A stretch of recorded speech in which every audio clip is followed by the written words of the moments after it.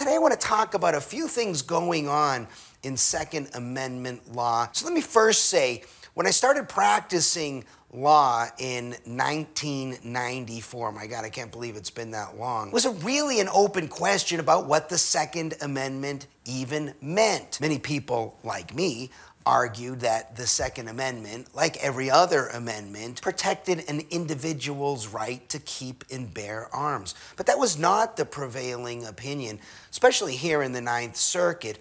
Many people argued that the Second Amendment protected some kind of a collective right, or maybe the right of the state to have a National Guard. As crazy as those arguments seem now, and they seemed crazy at the time as well, that was a really serious argument. And the Supreme Court really didn't speak very clearly on the Second Amendment until just recently, in fact, 2008. And that's kind of hard to believe to begin with. But it wasn't until 2008 when we got the Heller decision that the Supreme Court came out with what you might think the earth shattering pronouncement that the Second Amendment pretty much means what it says. It protects an individual's right to keep and bear arms, at least in the home, okay? Because this was about a Washington, D.C. ordinance that made it very difficult for people to have firearms in the home. Essentially, they said if you have a gun in your home, it has to be inoperable. You really couldn't use it for self defense. Of course, this was challenged and went up through the courts, and the Supreme Court did what I believe the right thing to say, no, there's an individual right to keep and bear arms. And they declared that in the Heller case, so they struck down the Washington, D.C. ordinance. So it was a 5 4 decision. It was written by Justice Scalia. So it was a close call, but Justice Scalia and some of the judges didn't really lay out exactly how lower courts were supposed to analyze Second Amendment issues. If you're familiar with some of my other talks, then you're familiar with some of my thoughts about where we went wrong in the country. In essence, I think in 1937 there were a series of cases, but in essence, the court in those cases did several things. They changed how they did business and they created what we call now a level of scrutiny analysis. Certain rights, individual rights, were subject to what we now call a strict scrutiny analysis. Uh, states or the federal government, if they were going to interfere with an individual's right here, they needed to show a compelling state interest. This was looked at very carefully, and whatever the regulation was had to be very narrowly tailored to what that interest was. On the other hand, if the regulation or statute and interest involved a property or economics right, if that's what it would interfere with, the court said only minimum scrutiny. So the court, almost in all cases, just deferred and said, in essence, we accept whatever the state or federal government is saying is the reason for the law. I think that was a giant mistake. I think it was a horrible idea. I think that's the primary reason we're in this situation, why economic and property rights are not very well protected in the United States. That's to blame what happened in 1937 and in essence in 38, if you can believe it, in a footnote in a case called the Carolene Products. But that's a different discussion. That's what happened. And so they didn't lay out exactly how courts were supposed to analyze Second Amendment cases, but they said the regulation in Washington, D.C. doesn't survive under any level of scrutiny. So, in other words, they said whether strict scrutiny applies, minimum scrutiny applies, or something new that was arising at the time called an intermediate level of scrutiny, under any standard, the DC ordinance fails, it's unconstitutional. So they left us with sort of an unclear picture on exactly how this newly defined right to keep and bear arms, an individual's right to keep and bear arms, was going to be analyzed by the lower courts. Next thing that happens is we get the McDonald case, which is somewhat unremarkable, but actually important because in that case, the Supreme Court determined that the Second Amendment actually applied to the states. This is very important without getting into too much detail here. Remember, the Bill of Rights doesn't automatically apply to the states. It restrains the federal government. It wasn't until the 14th Amendment that we got what we call the doctrine of incorporation. This happened one right at a time where the courts would say, okay, here's a right in the Bill of Rights. This now applies to the states as well. That happened in the McDonald case. So now there is no argument that the Second Amendment doesn't just restrain the federal government, it also restrains the state governments as well. That was the right ruling there. So fast forward to 2022. We get the Bruen case. This is a big, big case for Second Amendment people and really for people who are anti gun as well. Because after Heller, and what the courts were doing, by the way, was they sort of settled on this intermediate level of scrutiny. And that's how courts had proceeded analyzing Second Amendment cases. So we get to the Bruen case.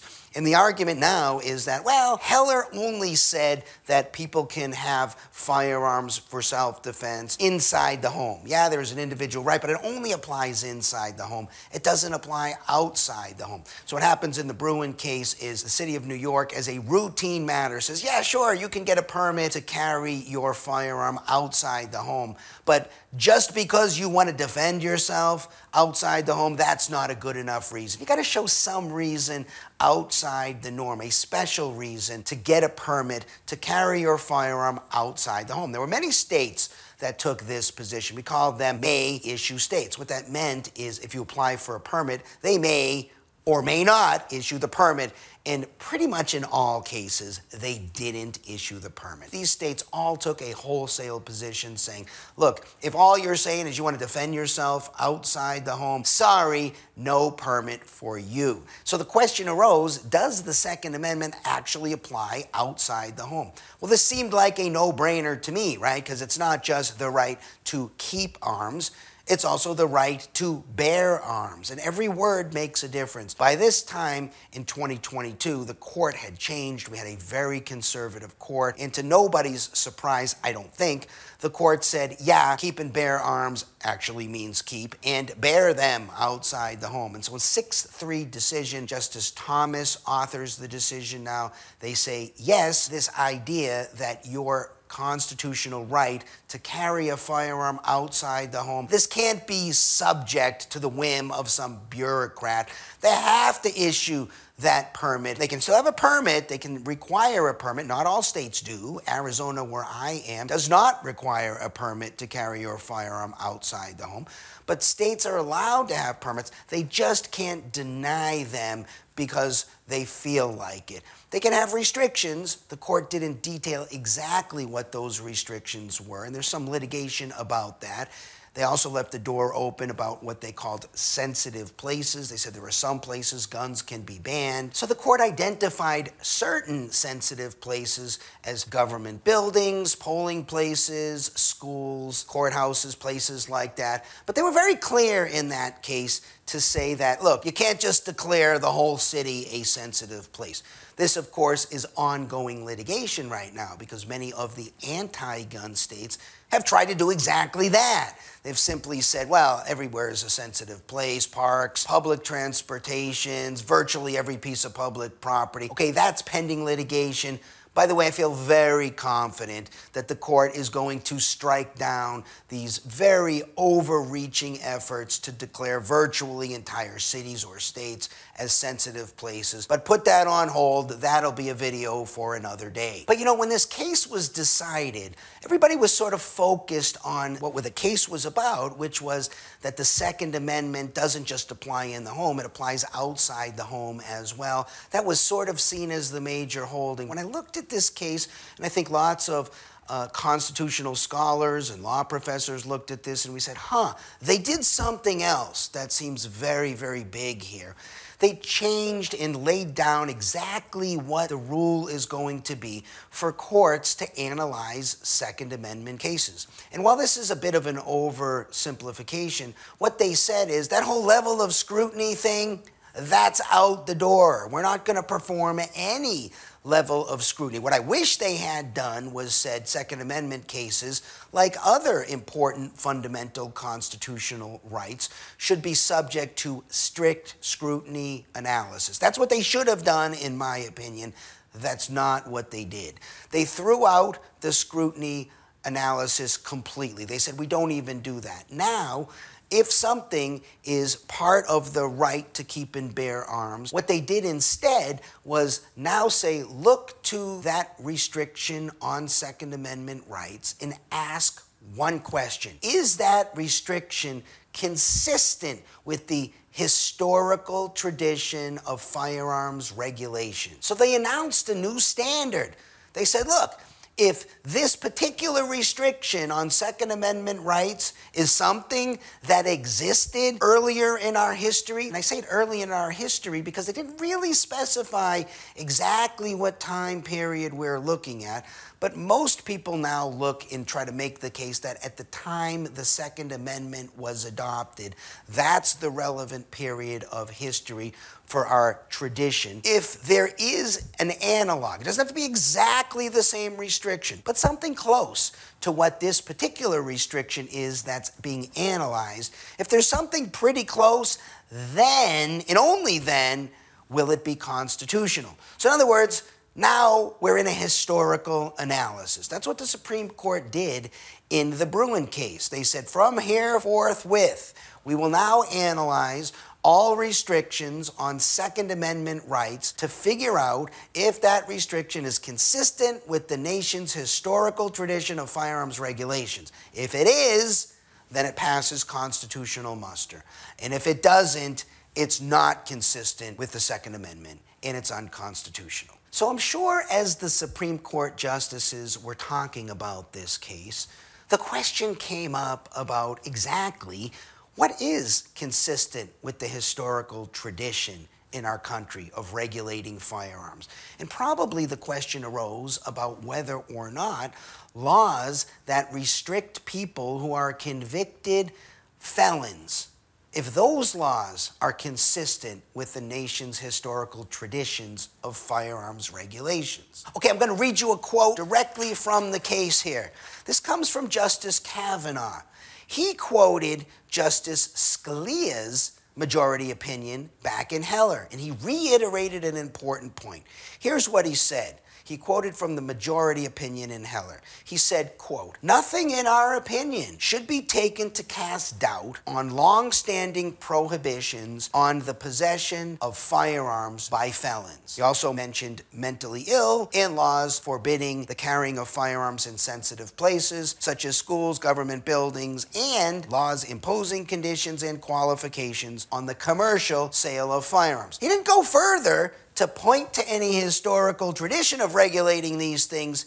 He just reiterated in the Bruen case something Justice Scalia said in the Heller case that, hey, you can still tell people who are convicted of felony offenses, no guns for you. We call that a prohibited possessor under federal law. I can think of a whole bunch of different restrictions on the Second Amendment that probably aren't consistent with our nation's historical tradition because I can't find any old cases, old evidence of restrictions in this particular area.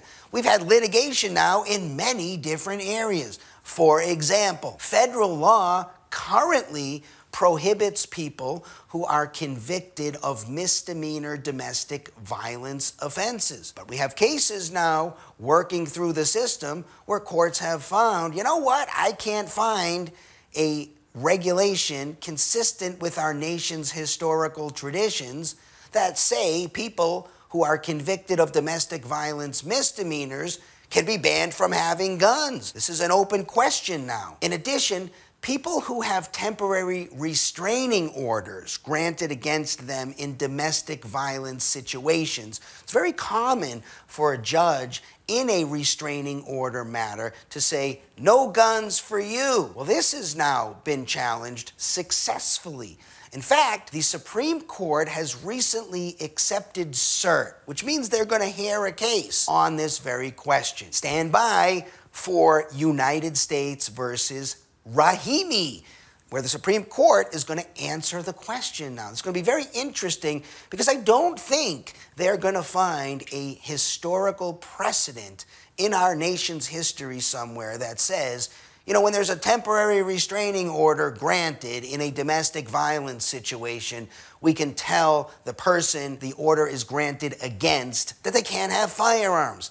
So we'll see what the Supreme Court is going to do with this issue. Other questions have arisen. What about people who are just charged with felony offenses? Very common in both the state court and the federal courts across the nation that if you're charged with a felony offense, not convicted, charged, which means you're presumed innocent, courts often enter orders, release conditions that say, no guns for you. Okay, good luck finding a historical precedent in our nation's history that says there can be such a rule. And indeed, courts are now finding that there are problems with this. This violates the Second Amendment. These are the kinds of cases that are now bubbling up through our justice system. Prohibitions under federal law against marijuana users prohibitions that say, hey, if you smoke marijuana, you can't have a firearm. These have also been under attack in the courts successfully. Restrictions on firearms that have serial number problems. Yeah, you probably didn't even know about this one. Firearms have serial numbers on them. If yours is obliterated, you can't read it. Okay, that's a federal crime to be in possession of such a weapon. Of course, good luck finding a historical precedent for that, and courts have said as much. So, this also is something working through our system right now. Same for ghost guns. ghost guns didn't even exist hundreds of years ago. So, good luck finding a historical precedent that says having a ghost gun or a gun that maybe is printed by a 3D printer, a manufactured firearm, restrictions against that also, some courts are now finding violate the Second Amendment. In a case I want to talk about, the Third Circuit has said if you have a felony conviction on your record and you are now a prohibited possessor under federal law, we can't find any historical precedent here. Therefore, the federal law that bans people who are convicted of not just federal felonies, but crimes that subject people to more than one year in prison. Even if you don't do the one year, if you are at risk of more than a year in prison and you have been convicted of that crime, you could be considered a prohibited possessor under federal law. Of course, if your crime is a federal felony, there is no way to fix this currently under federal law. That is a lifetime prohibition on your Second Amendment rights if you're convicted of a felony in the federal court. So, in a very interesting case, Range versus Attorney General, that literally was decided shortly before we're filming this video, back in June 6th of 2023.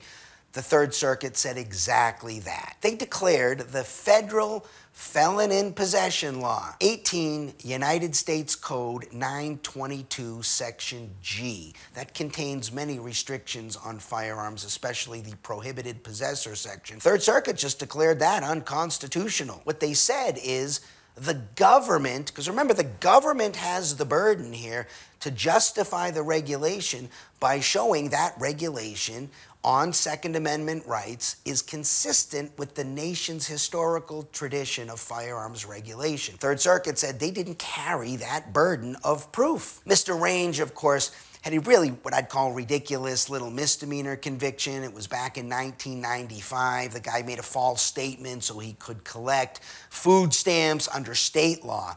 Why is this affected? Well, because under state law in Pennsylvania, where the range case comes from, he was at risk of five years in prison. And because of that risk, even though Mr. Range didn't serve any time in prison, he got probation, that subjected him to that federal felon in possession law. And it rendered him a prohibited possessor under federal law. And Mr. Range was denied a firearm. When he went to buy one and the background check was conducted, he was denied, and Mr. Range brought a case to challenge, under the new Bruen standard, the federal felon in possession standard. Mr. Range decided to challenge the federal felon in possession statute, saying, hey, I can't find any regulation consistent with our nation's history and tradition of firearms regulation. Therefore, declare it to be unconstitutional. So, Third Circuit applied Bruen. First, they found that yes, telling somebody that they can't have a firearm,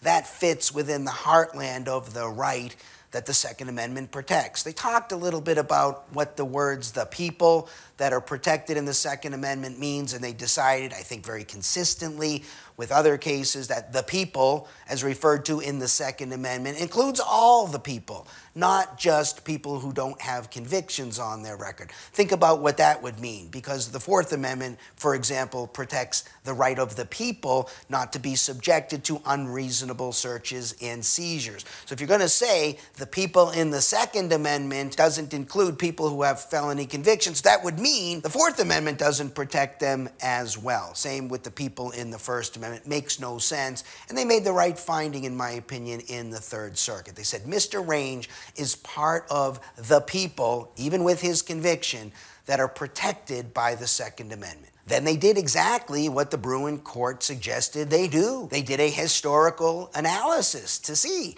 did we have laws that said people who are convicted of criminal offenses should be deprived of their right to keep and bear arms. They couldn't find any. Very interesting what they talked about in that case. And I really suggest people read this case because it was a very interesting case to read. They went through the current federal prohibited possessor statute. And what they found was it wasn't until 1938 that we even had a federal statute on the books saying that if you have a felony conviction, you can be deprived of the right to keep and bear arms. And that only applied to violent felons, not all felons. And it wasn't until 1961 that the federal felon in possession statute applied to all felons. And of course, this would apply to Mr. Range, who had a misdemeanor conviction that subjected him to five years in prison,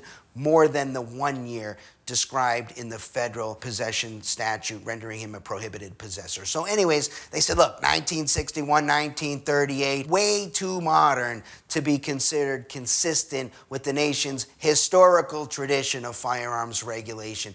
The government can't carry their burden. Now, to be fair, in the Range case, the Third Circuit limited that case just to Mr. Range, but the reasoning still holds true, and I think this is going to be a very big issue going forward. What I thought most fascinating about the case, besides the holding, right? Because think about this holding, because there isn't a historical argument to ban people who are convicted of crimes. I think the federal felon in possession statute is going to have to fall under the Bruen analysis. But how do we square this with the statements in both Heller and in Bruen where they said nothing in our decision affects essentially the prohibited possessor statute? They made that claim but they didn't apply the analysis they laid out in Bruen to that conclusion. They didn't tell the courts how you get there with the new analysis about the nation's historical tradition of regulating firearms. The two things don't go together. I think the most fascinating part of the case was a concurring opinion by Judge Porter. Cheers to this judge.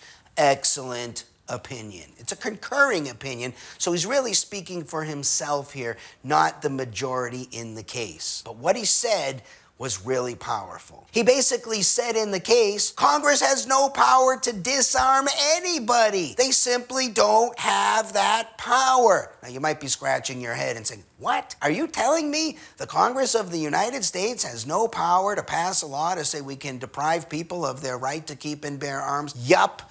That's what Judge Porter said, and I think he got it right. Why do I think he's got that right?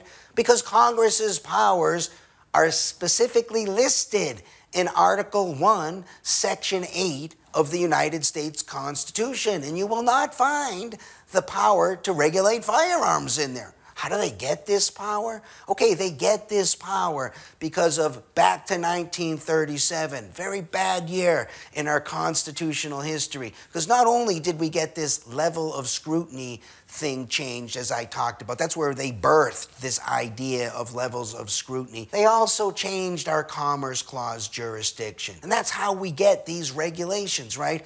That's really the source of power for the federal government on so many things, from gun regulations to the drug war to regulating civil rights litigation to so many other things that Congress does.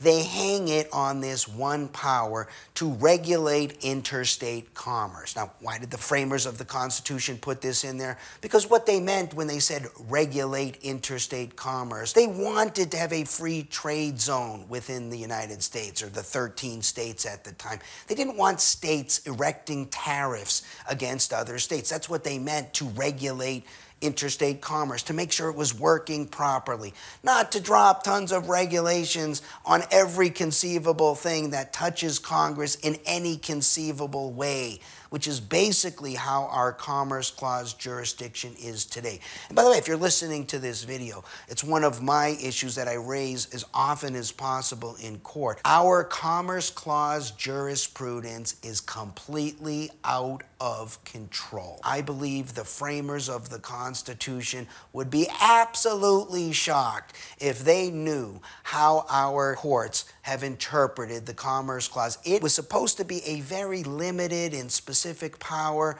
of Congress, has turned into an almost unlimited source of jurisdiction for Congress to do virtually anything it wants. If you're not aware of this issue, I'm glad I just made you aware of it. You should be keen towards cases that challenge this question. I think the Supreme Court right now has a makeup that might be ripe for presenting Commerce Clause cases and saying, hey, we need to cut back very substantially on federal Commerce Clause jurisdiction. It's essentially how we get this huge federal criminal justice system, something that was not contemplated by either our founding fathers or the framers of the Constitution. You know, Judge Porter also made some very interesting claims as well.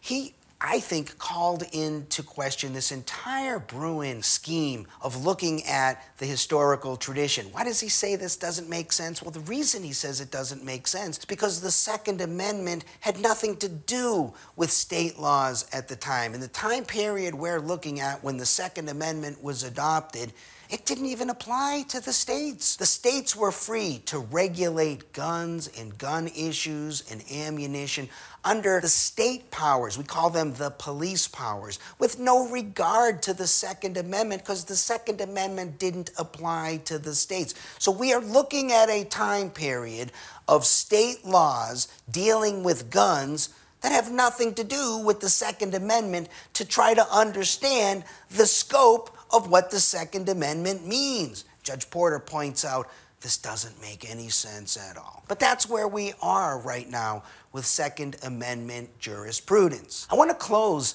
with a statement from another concurring opinion in the Range case. This was authored by Judge Ambrose, and I hope you look at this decision, not just the Range case, but look at the, at least the two concurring opinions. The one I just talked about, written by Judge Porter. I think that one was very astute, made some excellent points about just the structure of our Constitution and why I think he agrees with me that this test under Bruen that the Supreme Court has fashioned really doesn't make any sense.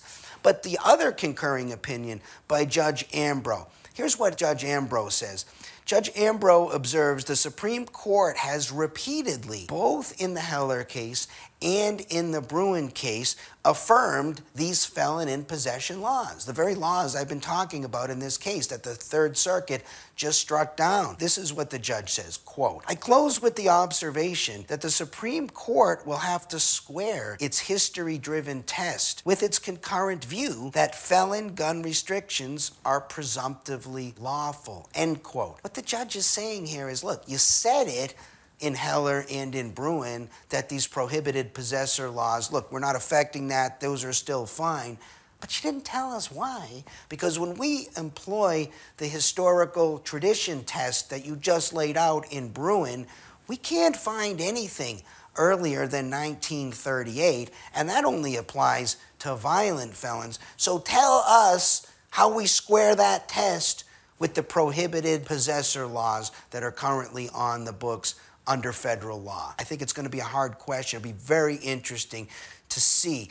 Either the Supreme Court, in my opinion, is going to have to back off its test in the Bruen and change that test around a little bit, or they're going to have to back off their statement about people who are convicted felons being subject to these laws that say you can't have a firearm anymore. Because I don't think they can square the test with the prohibited possessor laws. Let me just wrap up with just a couple of personal observations here.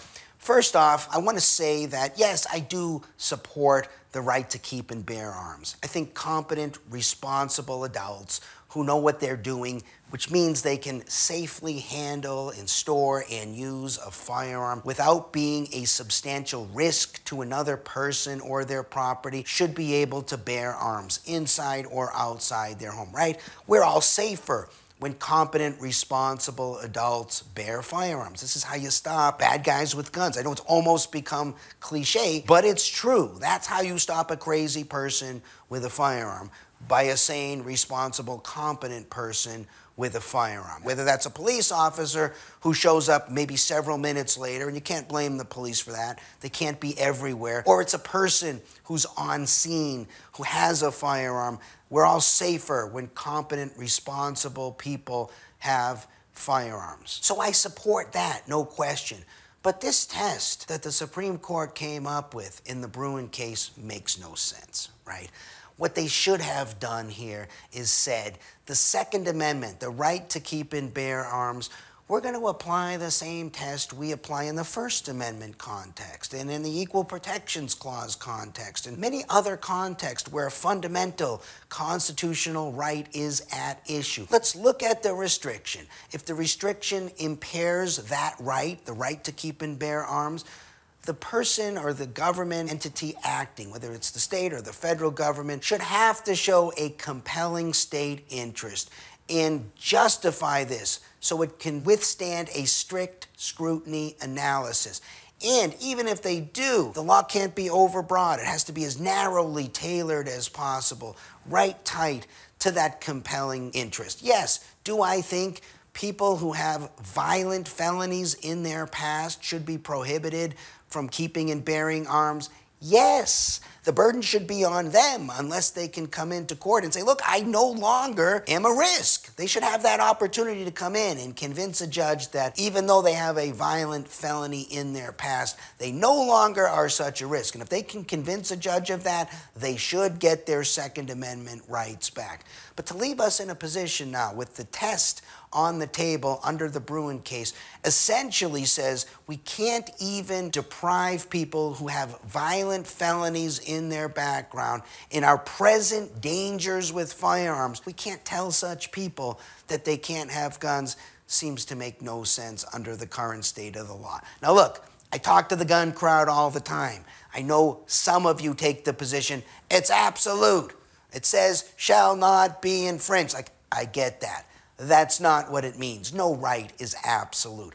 And if you think that that's the case, think about the person who is convicted of first degree murder and sentenced to life in prison and says, you know, I think I'd like to take my AR 15 with me to prison. Do you want that person to take their AR 15 to prison? What if they say, look, I like to shoot guards and I want to take my AR 15 with me? Well, if you agree with me that that person shouldn't be able to take their firearm with them to prison, then you agree with me that there are limitations upon the Second Amendment right to keep and bear arms. Do you want to tell a four year old you can't have an AR 15? I do. And if you do, that means you recognize some restrictions. Okay, I think there's a reasonable course to chart here. And the test really should be are you a competent adult? Do you have the mental capacity and the technical capacity to keep and bear arms in a way that does not present risks to other people? If you do, you should be allowed to have the weapon. If you do present a risk to other people, well, then you shouldn't have the weapon. And people who are in such a category should be able to request a hearing in front of the judge. Maybe they did at one time, present a risk, but maybe they're now rehabilitated. They've grown up, they're mature, they no longer present such a risk. They should be entitled to a hearing. We shouldn't restrict people ever permanently from their Second Amendment rights. Okay, that's my two cents take on it. That's my little overview of what's going on in the gun world. Stand by, because there's lots more interesting cases coming up in Second Amendment jurisprudence, and as they develop, we'll be running them down right here, putting videos out there. Okay, so just to wrap up, my name is Marc Victor. I'm the owner of the Attorneys for Freedom Law Firm. We represent people throughout the nation. Most of what I do is criminal law. I've been representing people for almost 30 years now. In major felony cases, we have a national practice. If you're interested in consulting with us, give the law firm a call. We're easy to find. Attorneys for Freedom. Attorneys for Freedom isn't just a catchy name, it describes our attitude about freedom. We're not just pro gun, we're pro freedom on every issue. So if you like this video, like, subscribe, leave a comment. If you hate this video, leave a comment. If it's a civilized comment, if it's a reasonable, rational comment, you will get a response. No problem. You want to speak to me directly? Just email me directly. I am an attorney who is very easy to get a hold of. My email is mark, M-A-R-C, at attorneysforfreedom.com if you bring an uncivilized comment, don't be surprised if you don't get a response back. But if you bring a civilized comment, agree or disagree, happy to hear from you. By the way, especially happy to hear from you if you disagree. No problem. Reasonable minds can disagree. Thanks for checking out my video and hearing my thoughts on Second Amendment and the current cases that are rising up through our system. All right, everybody, have an awesome day. Peace. I'm out.